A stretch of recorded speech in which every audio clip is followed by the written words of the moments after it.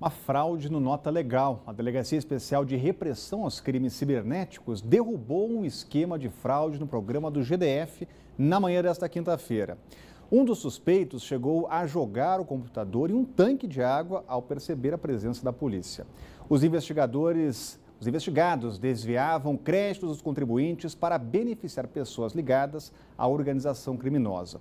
Um único integrante do grupo chegou a invadir 306 contas e ele está entre os presos. A operação ainda não foi concluída e até o fim da tarde a Polícia Civil vai divulgar um balanço da operação. A Secretaria de Fazenda informou que só se pronuncia depois disso. E o Band Cidade, primeira edição, fica por aqui. A gente volta a se encontrar amanhã ao meio-dia e meia. Tchau!